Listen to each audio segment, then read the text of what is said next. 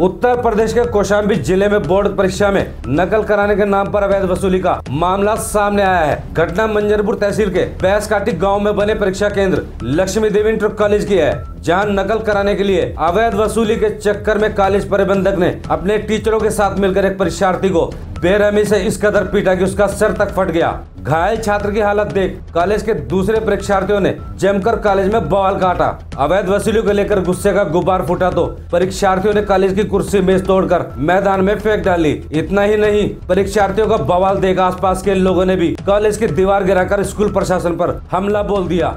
जिसमें कॉलेज के प्रबंध तंत्र को खुद को कमरों में बंद कर अपनी जान बचानी पड़ी। जानकारी के मुताबिक आज दूसरी पाली की इंटर की फिजिक्स की परीक्षा देने के लिए रोज की तरह लक्ष्मी देवी इंटर कॉलेज पर छात्र पहुँचे, जहाँ चेकिंग के बाद कॉलेज के प्रबंधक शिव कुमार सिंह और उनका बेटा परीक्षार्थी छात्रों से नकल कराने के नाम पर प्रति परीक्षार्थी आठ से दस हज़ार रूपए की मांग करने लगे। इसी बीच आकाश त्रिपाठी नाम के छात्र ने अपनी गरीबी का हवाला देकर रुपए न देने की बात कही। घायल परीक्षार्थी आकाश का आरोप है की प्रबंधक और उसके बेटे ने मिलकर पीटना शुरू कर दिया जिसमें उसके सर में चोट लगी है। चोट के कारण आकाश परीक्षा केंद्र में होने के बाद भी परीक्षा नहीं दे पा रहा है। पीड़ित छात्र के परिवार वालों ने करारी पुलिस को तहरीर देकर कॉलेज प्रबंध तंत्र के खिलाफ कार्रवाई की मांग की है। परीक्षा के दौरान हंगामा और बवाल की सूचना पर जिला विद्यालय निरीक्षक एस के सिंह चार थानों की भारी पुलिस के साथ मौके पर पहुँचे और तकरीबन 45 मिनट की पुलिसिया कार्रवाई के बाद छात्रों को काबू किया गया। परीक्षा के दौरान अवैध वसूली की बात पर पर्दा डालते हुए उन्होंने कहा है कि छात्र को सर में चोट गेट पर एंट्री करते समय लगी है।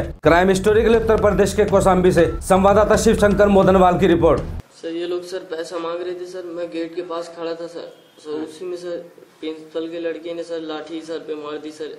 और उसके बाद सर लात से भी सर गेट के बाहर इन लोगों ने मारा। सर, आप किसी भी लड़के से सर पूछ सकते हैं सर।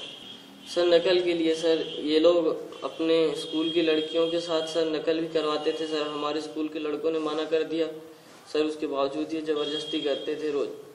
यहाँ पे जो है परीक्षा जो पालिक परीक्षा थी आज इंटर भौतिक उसमें गेट पर तलाशी के दौरान थोड़ी धक्का मुक्की हुई, जिससे एक छात्र को जो है वो दीवार में टकराने के चोट लगी। उसी कारण जो कुछ बच्चों ने जो है यहाँ फ़िलहाल जो है प्रशासन और स्कूल प्रशासन के सहयोग से परीक्षा शांतिपूर्ण ढंग से कराई जा रही है। यहाँ पर जो हमारे अतिरिक्त केंद्र स्थापक और जो स्टेटिक मजिस्ट्रेट लगे हैं, उनसे बातचीत हुई। उन्होंने ये बताया कि नहीं, अचानक से भीड़ ज़्यादा हो गई गेट पर और वो बच्चे जो है जल्दी अंदर आने के कारण धक्का मुक्की हुई। और इसी कारण से जो है बच्चे को चोट लगी लगभग पैंतालीस मिनट तक परीक्षा बाधित रही इसकी व्यवस्था हम लोग किए हैं कि परीक्षा से संपन्न हो